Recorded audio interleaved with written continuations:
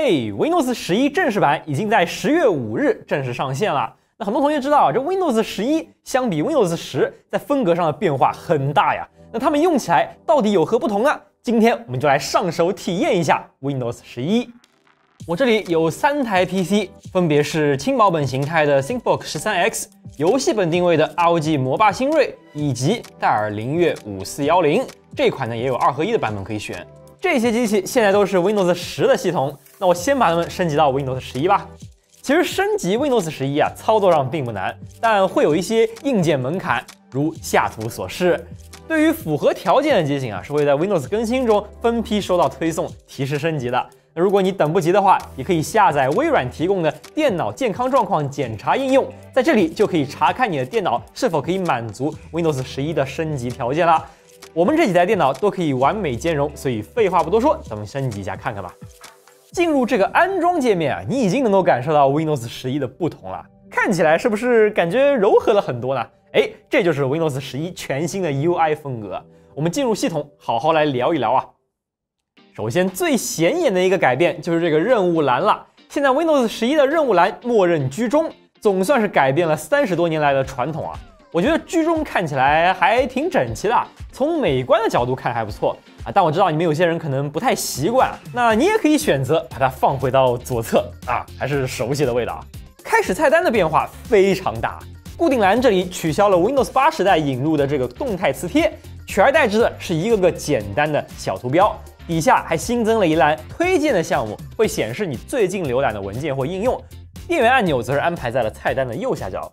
设置菜单同样经过了重新设计，左边固定主菜单，右边子菜单。这个设计比较符合现在的大趋势啊，用户可以一层一层的往下走，对吧？很快的跳转到自己需要的菜单上。相比 Win 十的那个老菜单，显然是效率更高一些，更有逻辑性一点。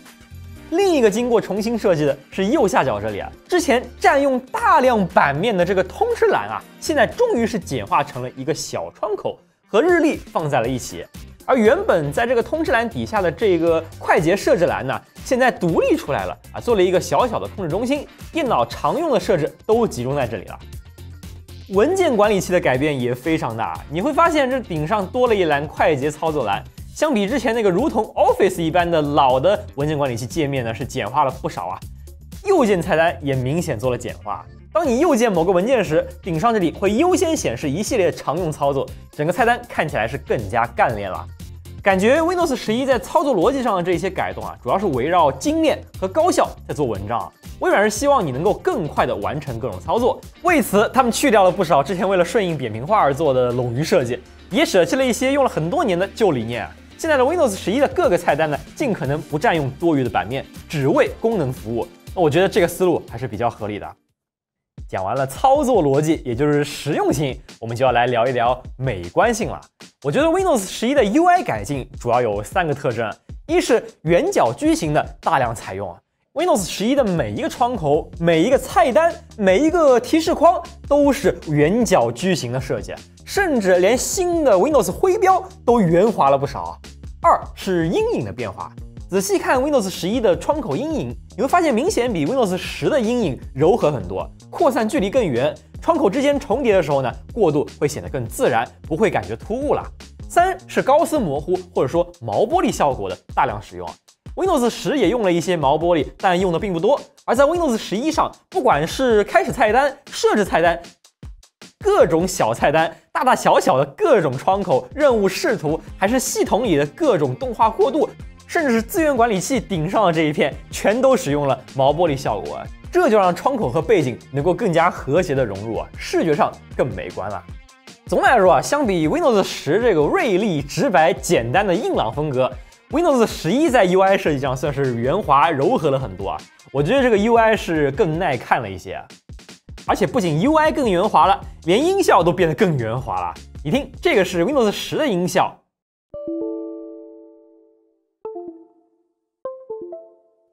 而这些是 Windows 十一的音效，是不是觉得轻柔了很多呢？另一个可以体现这种圆滑感的是 Windows 十一的动画。Windows 十一添加了大量的动画过渡，而且最重要的是，和 Windows 十的线性、非线性动画混用不同 Windows 十一所有的这些过渡动画都是非线性的。比如我们来试一下这个贴靠的动画，Win 十这里用的就是线性动画，就会感觉比较生硬啊。而 Windows 十一呢，就有一个由快到慢的过程，它是一个舒缓的过渡，再配合上高斯模糊，它的效果就很自然了。包括快捷设置这里的动画也是啊，Windows 十如果你慢放，你会发现它不是真的完整从这个任务栏滑出来的，只是改变了透明度，所以看起来就不是那么流畅。而 Windows 十一的这一些任务栏动画都做了重新设计，有一个完整的出入过程，那看起来就比较顺滑了。哪怕都做了非线性动画了，那 Win 十一也做了很多的调整，比如最小化这个动画呢，Windows 十你看到没有？它并没有缩到最小，只是象征性的缩了一下。而 Windows 十一则是真的把窗口缩进这个任务栏里了，有那个感觉了，对吧？那说到这个缩小动画，不知道你有没有发现，不光是过渡动画变了。这个任务栏上的图标，哎，是不是也跳了一下呀？哎，这个也是 Windows 十一在动画上的一个大改进啊，加入了各种小动效，比如这些，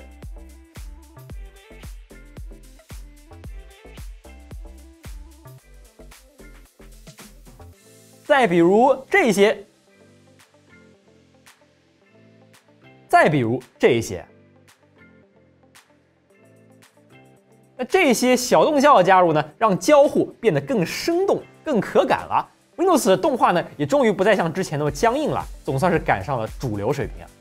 我们以前经常会聊啊，说这个某某操作系统使用起来更流畅。哎，那为什么会感觉流畅呢？其实大多数时候并不是因为性能更强，就是因为。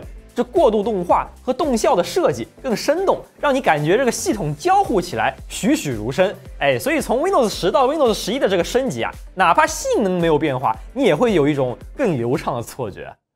除了界面的这些变化之外，Windows 十一还添加了不少新功能，比如说小组件。哎，这个其实也不是新功能了，早在 Vista 时代就有了。那 Windows 十一是把它做成了一个类似于手机负一屏的效果，它其实是继承自 Windows 十的信息流。但可以自己添加和修改各种小组件啊，可惜目前能用的小组件还比较有限。如果之后能开放接口给第三方用的话呢，我觉得或许还能期待一下。还有这个，按下 Windows 徽标加句号，快捷输入表情包，可以是 emoji，可以是 GIF 动图，也可以是快捷访问你的剪贴板。那这个功能我不知道你们能不能用得上啊？其实很多的第三方输入法也可以发表情包，只是微软官方如果能把这事儿做好，那我就更没有理由换掉自带输入法了嘛。另一个新功能，我觉得还蛮有用的，是贴靠布局。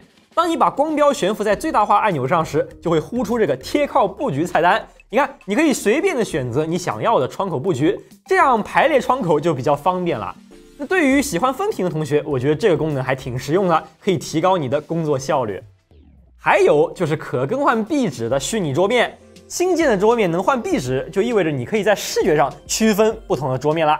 比如这个桌面，我可以专门安排成游戏用的；这个桌面我安排成办公和学习用的；这个桌面呢，我专门用来放各种电影啊，不算一个很重要的功能吧，但对于喜欢整理的同学来说，或许有点帮助。还有一个小细节，就是当你外接显示器的时候，Windows 十一会记住你的桌面布局，这样当你拔掉显示器之后再插回去，它又会恢复到原来的布局了。我们再来看看游戏上的改进啊，这是一台 ROG 的魔霸新锐游戏本。其实，在游戏当中呢，Windows 十一也有一些新功能，比如说 Direct Storage 可以通过把显卡和硬盘直连来减少游戏加载时间。这功能画饼画了这么久，总算快要时装了。那我说快要啊，因为这个还要等游戏的适配嘛。另一个已经时装的游戏功能是自动 HDR，尤其是玩一些不支持 HDR 的老游戏，如果你的显示器支持 HDR，就可以开启这项功能。Windows 十一会自动的帮你把 SDR 内容增强到 HDR。那这个对于喜欢在电视上玩游戏的玩家来说还挺有用的。除了系统本身之外，Edge 浏览器也更新了，增加了一个叫做垂直标签的功能。点击左上角就可以切换到垂直标签。如果你的网页特别多的话呢，使用这个垂直标签来切换和管理你的页面就会更加方便一些。Windows 十一还有很多的新功能呢，但是我觉得今天咱们是体验的差不多了。我觉得这一次很多的改进啊，都是围绕效率去做文章的。不管是新的菜单逻辑，还是新的这个任务栏布局，还是贴靠功能、虚拟桌面的改进，其实这一些啊，都想让我们在操作上更加高效。而另一方面，设计理念的改变，大量动画的使用，也让 Windows 十一终于在外表上赶了个时髦。我总算也可以说，Windows 现在也挺好看的了。这样看来，Windows 十一算是内外兼修的升级吧，意义确实挺重大的。我们也很期待这样一次大升级能不能引导各大 PC 厂商做出更多创新形态的 PC 呢？如果你现在想体验 Windows 十一的话，就像我开头说的那样，赶紧去升级看看吧。如果你的 PC 不符合升级要求，或者直接想换一台性能更好的 PC，也完全没问题。因为在十月十三号，Windows 京东超级品牌日即将开启，届时会有一大波预装 Windows 十一的 PC 将会登台，并且全场都会有不同程度的优惠，比如五千减五百，爆款直降上千元等。哎，想换机的同学赶紧去看看吧。好了，以上就是本期节目全部内容，别忘了长按点赞，一键三连。我们下次再见啦，拜拜。